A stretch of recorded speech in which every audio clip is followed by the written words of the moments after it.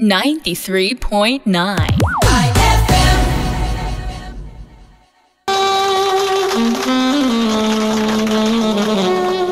Ang mga mapangahas na kwento dito sa Deep True.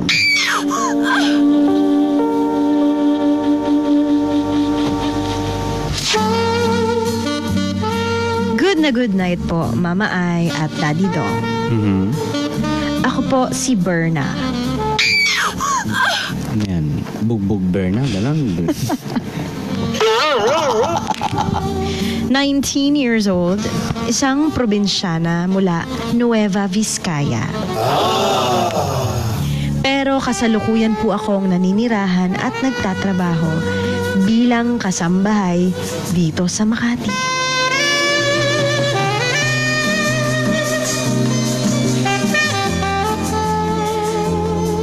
Five months na rin po akong nagtatrabaho sa pamilya dito para po makatulong sa nanay ko na nasa probinsya at mapag-aral yung mga kapatid ko sa probinsya.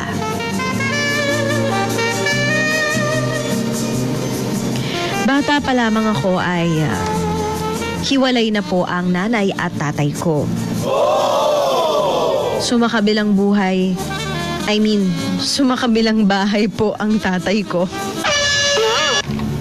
At hindi na nagbigay ng suporta para sa pinansyal na pangangailangan namin. Hindi po naging madali sa nanay ang sitwasyon na mayroon kami ng panahong iyon. Dahil nag-iisa lamang siya na nagtataguyod sa amin. Sa katunayan nga po ay walang balak ang aking ina na ipagpatuloy ko pa ang aking pag-aaral sa kolehiyo. Marahil ay nakakaramdam na rin siya ng pagod bilang labandera at kasambahay rin sa pinapasukan ko ngayon.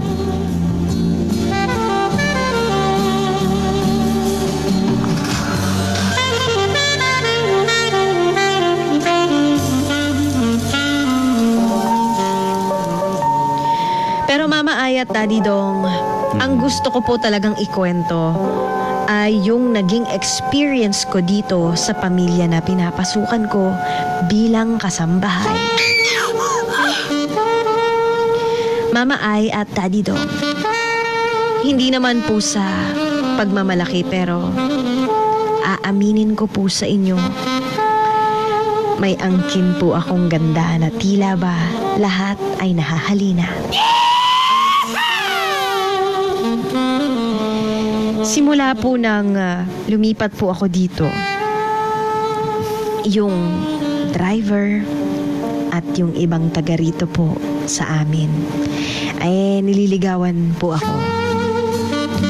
Pero dahil nga wala rin po sa isip ko ang pagnonobyo ay hindi ko rin sila pinapansin.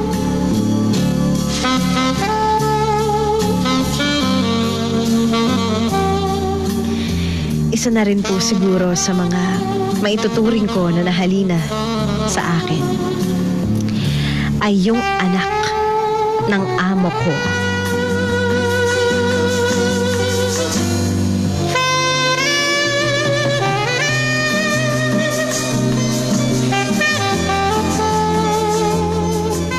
Si Gino. Siya ay matipuno, guwapo, at matalino.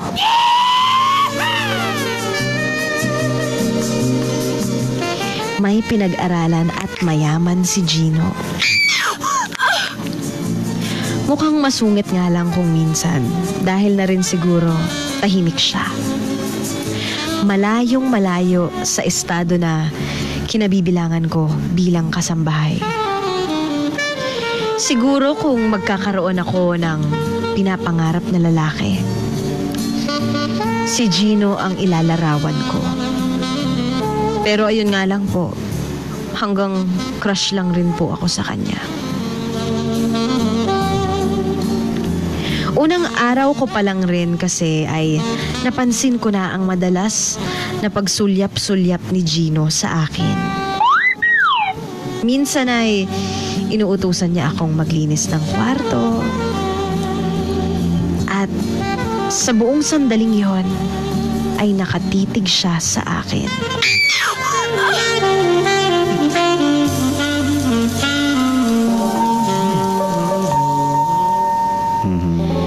Pinagmamasdan niya lang ang bawat galaw ko.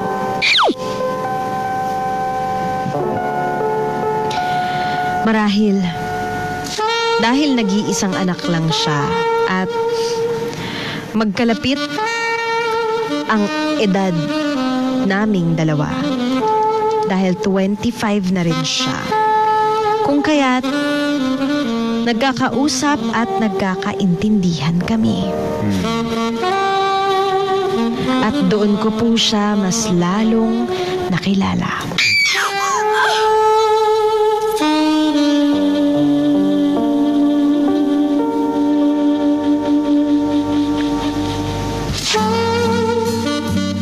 Pero nag-uusap lang po kami kapag wala yung magulang niya. Medyo nakakahiya kasing maging close sa kanya at malaman ng amo ko. Hmm, syempre, syempre. Lalo po akong nagduda na may gusto siya sa akin. Nang minsang nag-outing ang pamilya na. Pero, pinili niyang hindi sumama.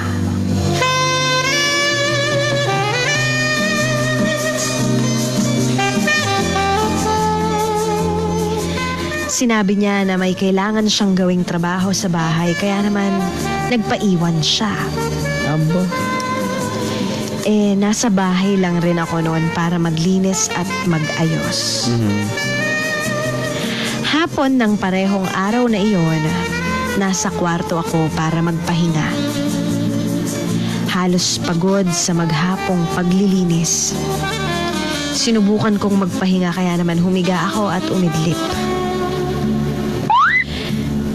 Nang Oo. Gugulatan na tayo dito ah. nang biglang Ano? may naramdaman ako bumukas na pinto.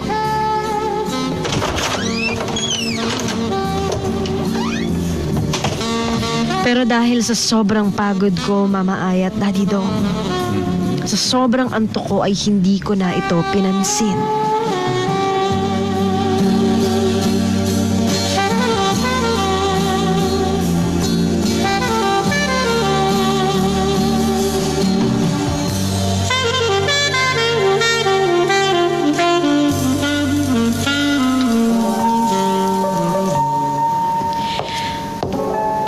Pumasok pala si Gino sa kwarto ko para kamustahin ako.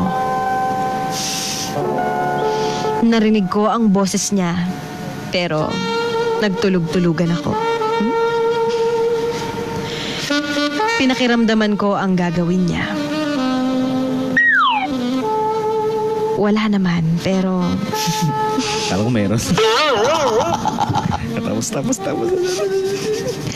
Pero Hmm. napansin kong andun pa rin siya sa tabi ko. Ilang saglit lang ay bigla niya akong hinalikan sa noo. Papunta sa labi ko.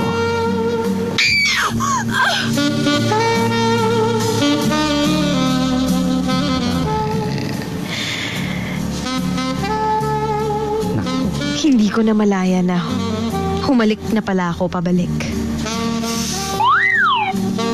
Patay malisyo. At nagulat ako sa mga sumunod na nangyari.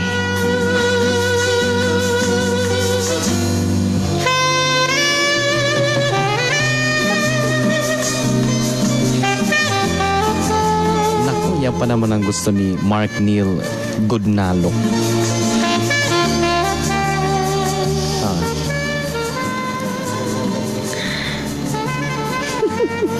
Hmm? Mama Ay at Daddy Dong. Hmm. Tinanggal niya ang kumot na nakabalot sa akin. At pawang balak naming sakupin ang bawat isa. Sulitin ang mga sandali na tanging kami lang dalawa. Tumayo na ako sa pagkakahiga at umupo. At sa puntong ito, ay naging matindi na ang paghahalikan namin.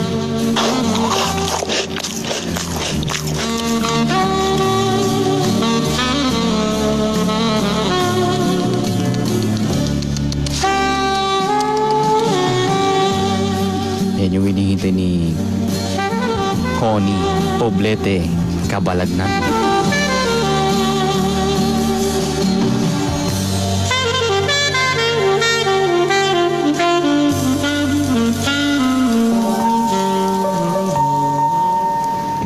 at Daddy Dong. Tila sabik na sabik kami sa isa't isa. Hanggang sa huminto siya bigla at isinara ang pinto at pinatay ang ilaw. Dito, muli siyang lumapit sa akin at muli niya akong hinalikan. Nagsimula na siyang hubaran ako.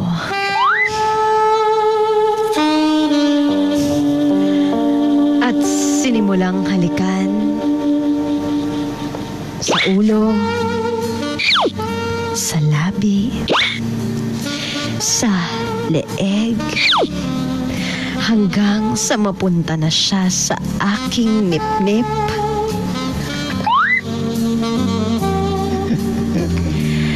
Pagkadating niya sa aking nip-nip, ay pinaglaruan niya ang aking buging.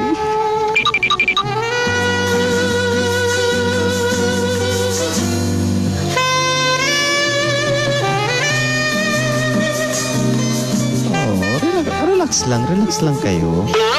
Darating din tayo dyan.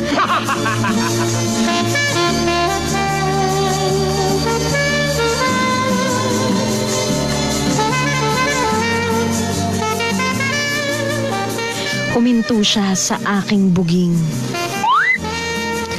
At hinigop niya ang aking buging na parang isang mainit na sopas.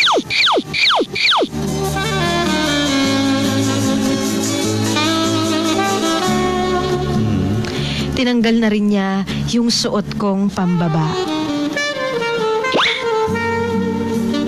At doon ay sinimulan rin niyang halikan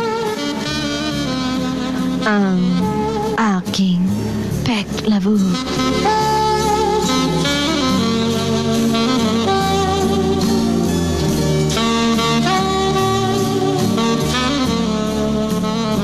Hmm. Kaya naman Mama Ay at Daddy Dong ay talaga namang napaungol ako ng todo-todo.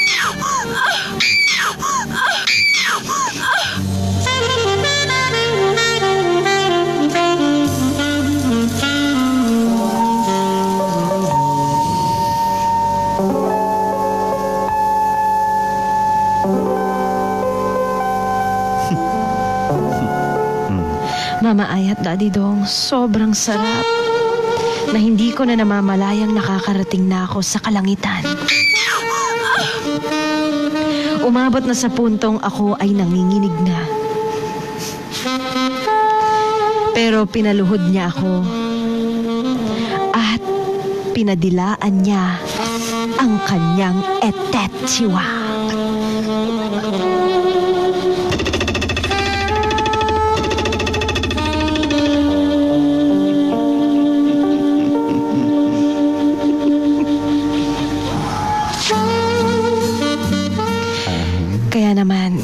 Ginawa ko ang kanyang ipinag-utos na parang senyorito.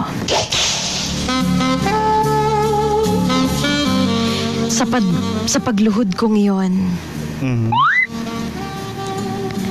ay isinubo ko ng buong buo ang kanyang etechiwa.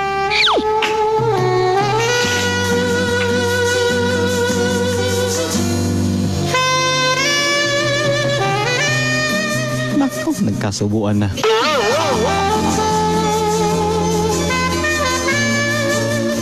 At ramdam na ramdam ko ang sobrang pagkatigas nito na tila isang ice candy.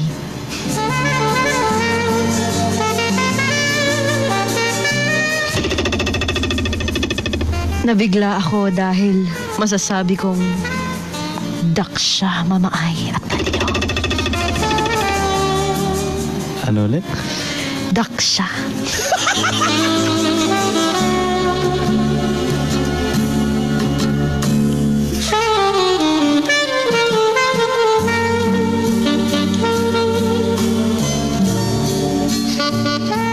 Dakpato. Kahabol ka pa talaga. ah.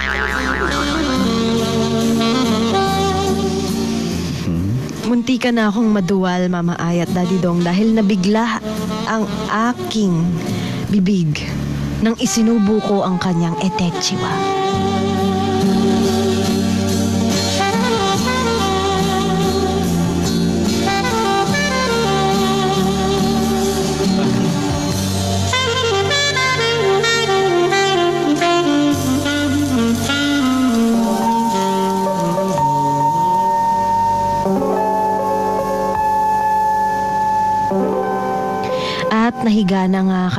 Sa higaan. At doon na kami nagsimulang magpitsahan.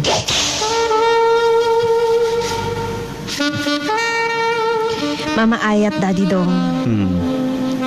first time ko po ito dahil wala pa rin ako naging boyfriend sa probinsya. Ganito pala ang pakiramdam ng makipagpizza. Sobrang init, pero sobrang sarap.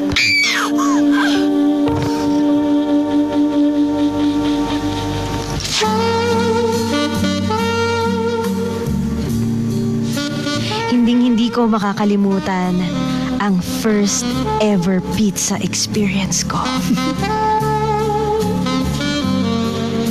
Sa puntong ito, masasabi kong nakalimutan ko ang pangalan ko.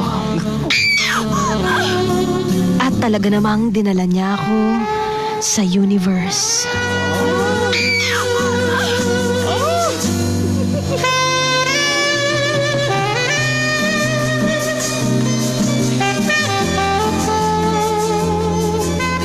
Habang bumabaon ang kanyang etechiwa.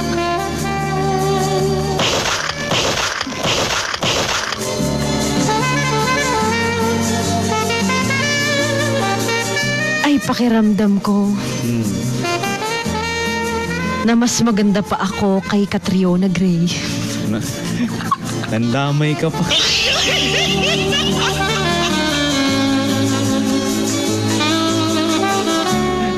Ala.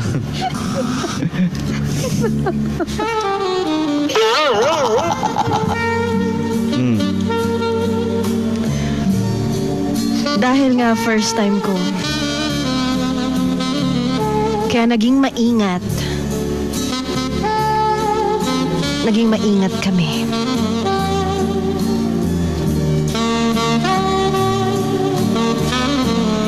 Mama Ayat Daddy Dong. Ah, bakit? Nung bugla nang bumilis ng bumilis, ay unti-unti niya ring binabagalan.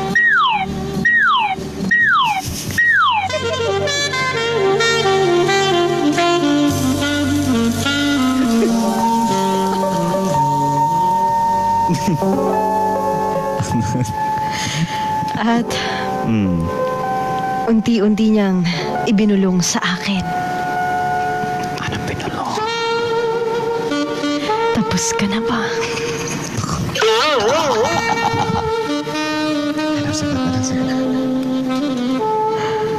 Ang sabi ko, Ha? Ano yun?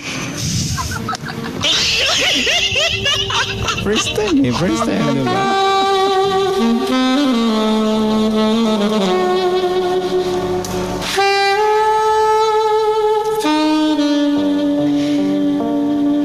tinanong niya kung tapos na akong kumembot. Pero dahil hindi ko nga po alam kung ano ito, ay sinabi niya kung pwede na daw ba siyang kumembot.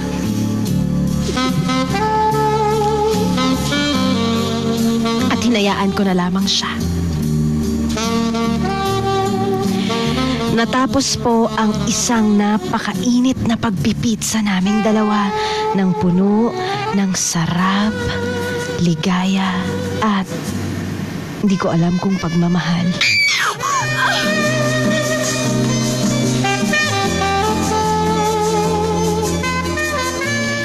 Hanggang ngayon, hindi ko pa rin alam, Mama Ay at Daddy Dong, kung anong meron sa aming dalawa. Hmm. Hindi rin naman po kasi ako umaasa dahil alam kong malayo ang estado namin sa isa't isa. Kasambahay lamang ako at siya ay amo ko.